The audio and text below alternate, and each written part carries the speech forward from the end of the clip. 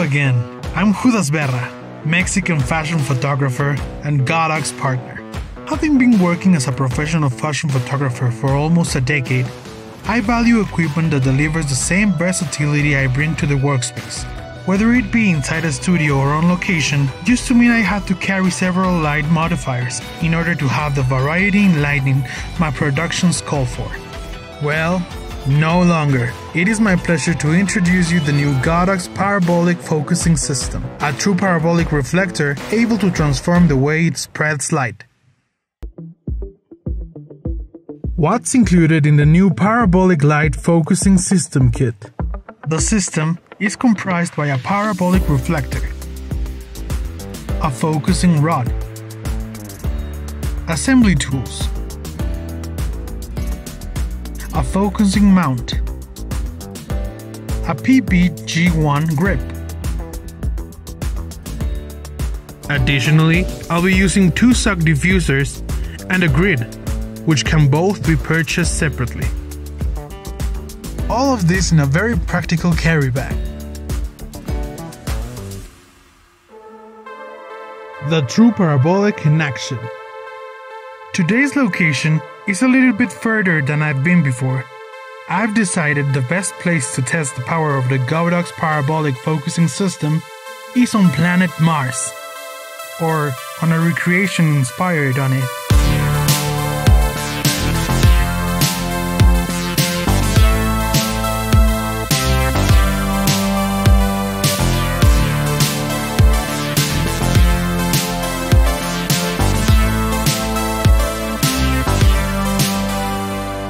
My first set, I've decided to push the rod all the way, so I can shower both my subject and the background with light. Having the freedom to focus the beam of light at will allows me to find that sweet spot.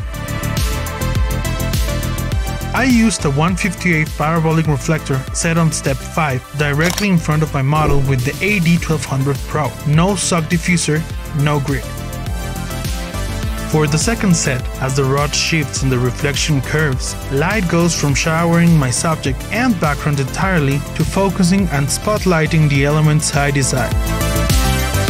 I decided to set my 128 reflector on step 8, 45 degrees above my model, again with the AD1200 Pro. No sock diffuser, but using the grid to greatly reduce the spread of light.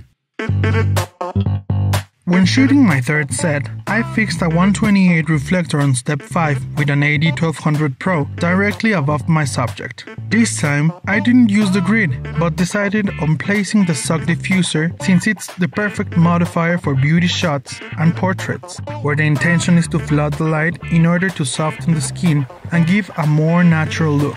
I used an 88 parabolic reflector on step 2 with an AD1200 Pro and a grid as a field light and shot a 68 reflector on step 9 with an AD200 and a blue gel to add a pop of color.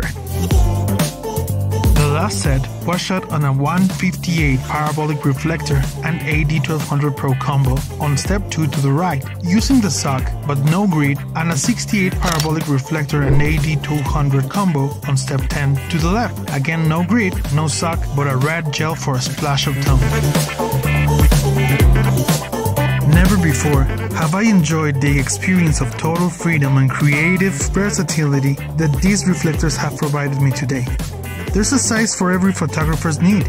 Whether it be indoors or on location, there is no doubt that Godox's family of parabolic focusing systems are the one true parabolic reflectors. Even so, that as I leave planet Mars, I can say they prove to be absolutely out of this world.